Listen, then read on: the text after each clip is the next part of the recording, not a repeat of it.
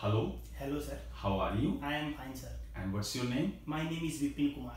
Okay, where are you from? I am from Dannokheri and it's a very beautiful place. It having number of specialities like better management, well, well educated people, wider roads and few temples. It comes under state Karnal as a part of Haryana. Right, right. Okay, so when did you start living at this place? I have been, been living there since my childhood and I live there in a house which was built by my grandfather. Okay, do you have any plans of changing the home? Yeah, I, nowadays I am preparing for my IELTS exam or if I will get sufficient band then I would like to go to Canada and I will shift there. Right, right. Okay. I'm taking a few of the questions in the part one on the topic of friends. Yes. Like, uh, how often do you go out with friends? When I get leisure time from my hectic schedule, I like to go on far off locations with my friends so that I can utilize my time or as well as it's a it provide a great chance to resonate my mind. Right. Tell me about your best friend at school.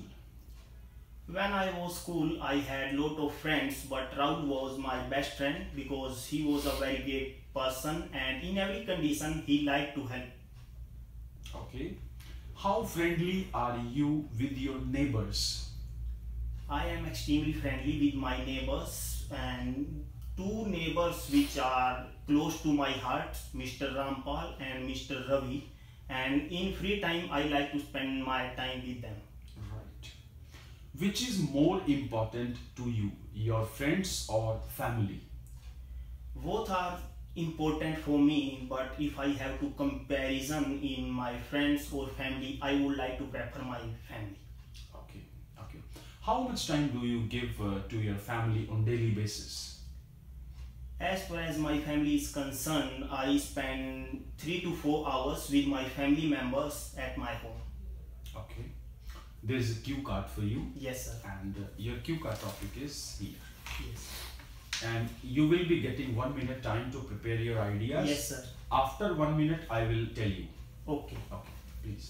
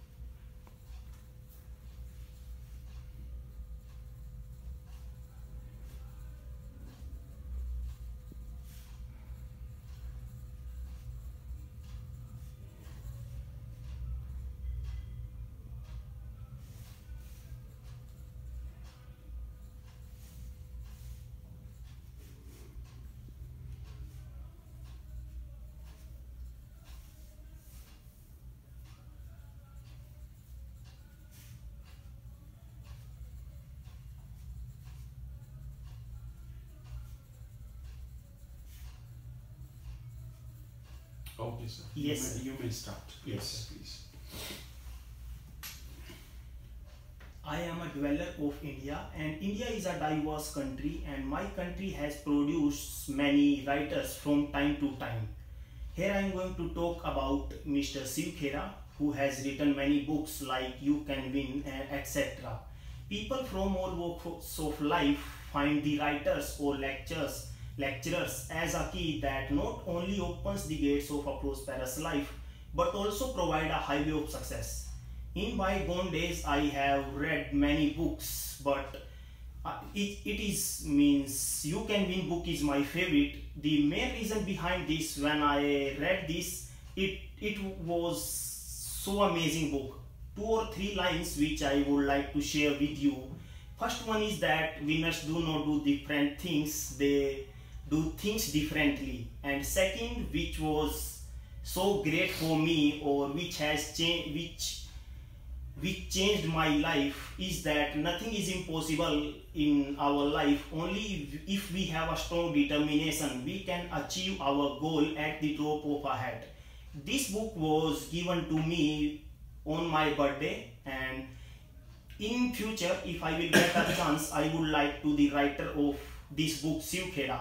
The main reason why I like to meet him because I have listened a lot about Shiv Khera and in future I can guess that when I will meet him, it will be a electrifying moment of my life.